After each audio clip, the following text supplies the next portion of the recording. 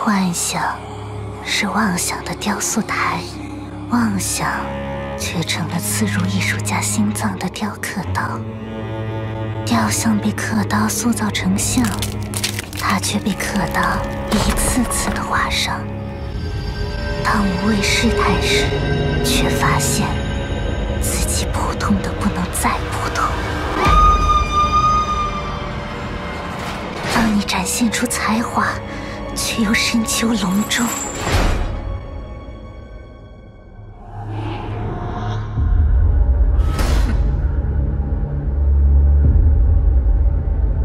只能放弃交流，